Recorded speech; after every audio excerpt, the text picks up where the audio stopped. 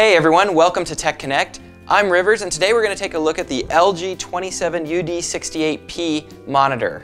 This is an ultra high definition monitor, which means it's got four times the resolution of a 1080p screen.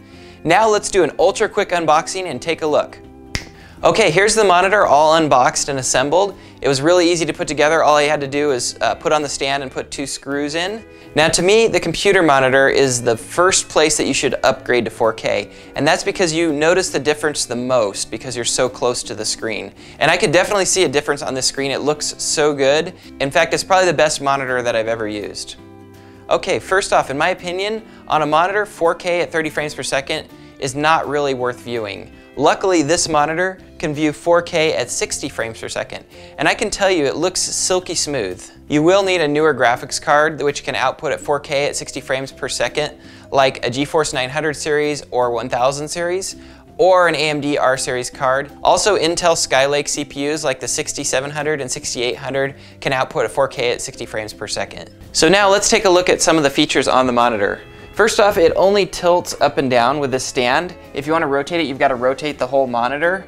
But that's okay because it's actually got something that a lot of monitors don't have, and that is a mount on the back. So you can mount it on a stand or uh, mount it with other monitors, and you don't have to use this stock stand that comes with it.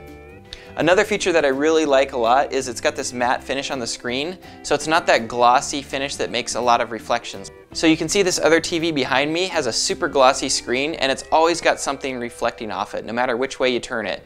Say you have a window behind you, you're always going to see that glare on the super glossy screens and you don't see that on this matte finish, so I really like that. Also, of course, I like the clean design with the very thin bezel on this monitor, and the black levels look amazing on here, very dark. Now let's take a look at some of the hardware on the back of the monitor. So over on the back, you've got the wall mount, so you can either wall mount it or connect it to a monitor stand with multiple monitors.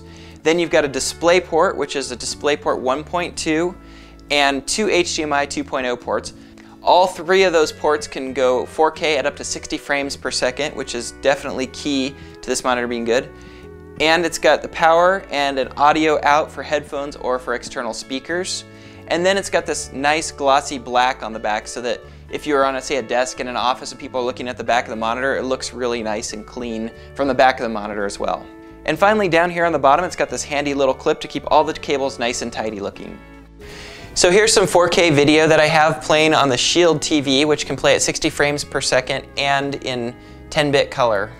So now let's talk about the image quality on this monitor. Here's some footage that we're looking at that I shot in the Sierra Nevadas and at Yosemite National Park, and it looks amazing, especially up close from where I'm sitting. You can really see the definition from where the black ends and the sky begins, or these flowers where the, the line between the flower and the green leaves behind it just looks so crisp. And that's the 4K, or I can see all the grass right here in this lake, just like each individual blade. So the 4K quality helps with that. This monitor also has something called high dynamic range, or HDR video.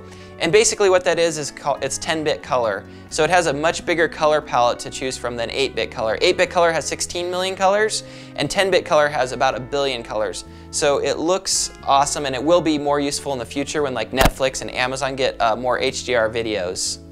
Also, the black levels on this monitor are very good in the dark areas on videos and games. It looks nice and dark, so not much light bleeding through at all.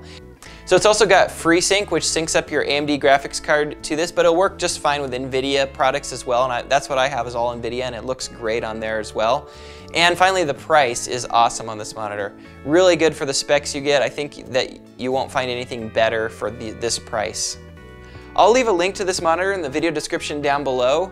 Uh, also have the W version of this monitor, which uh, has a stand that can rotate the screen and adjust the height. Plus it's got a USB-C port and USB charging ports on the back of it as well.